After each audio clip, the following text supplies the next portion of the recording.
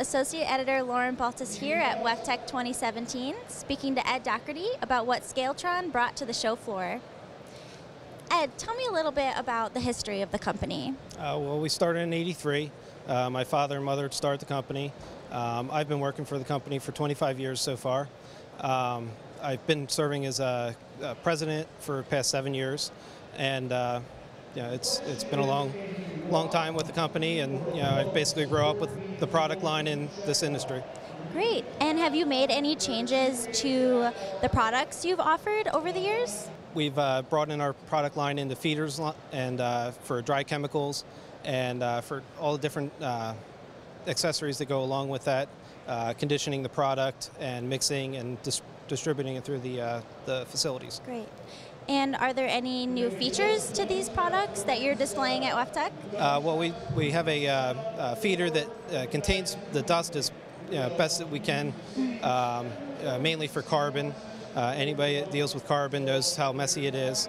Um, the unit contains the, the bags as they're working with them. Uh, as soon as they cut it, it's inside the bag, so it contains all the dust and uh, keeps it out of the facility and off their uh, operators. Oh, and what kind of benefits does that provide for uh, health? I mean, it, it, the stuff's really nasty. Um, it gets gets basically everywhere, and it's very hard to contain unless it's in a unit. Great. And can you talk a little bit about the applications your new products can be used in? Uh, well, they basically uh, anytime when they're using uh, surface water, they're treating surface water, uh, they'd be feeding carbon, uh, pH control for lime and soda ash and uh, uh, baking soda. There's any kind of dry, dry, chemicals that they'd be feeding. Now Ed's going to show us the volumetric screw feeder he's displaying at WEFTEC. So Ed, what model of the screw feeder is this? this is the VMF 28. it's a unit that has five cubic feet of storage space inside. Uh, and this model has a, uh, the glove back or glove box uh, unloader.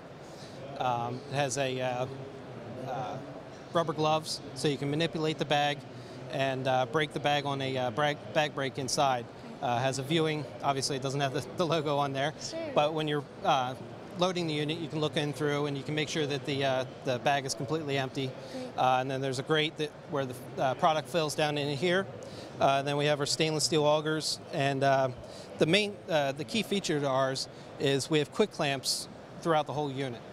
so you don't have to use any tools to, to, take apart the unit.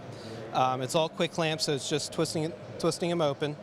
and our unit is completely sealed from the point in uh, where you put the uh, bag inside till it comes out into the uh, into the mixing tank. Mm. a lot of people just dump out of the uh, discharge spout into the mixing tank. Uh, ours has a uh, flexible seal here, so even throughout the auger, no dust can come out. And can you show us what it looks like on the inside? Yeah, so it, it kind of looks like a sandblast cabinet where you can manipulate the bags inside. the bag brake is in the, in the center there. And uh, in the back there is where you can hook up a uh, dust collector uh, also to the unit. Well, thanks, Ed, for showing me your new products today. Uh, thank you. I'm Lauren Baltus at WEFTEC 2017. For more information, go to scaletronscales.com.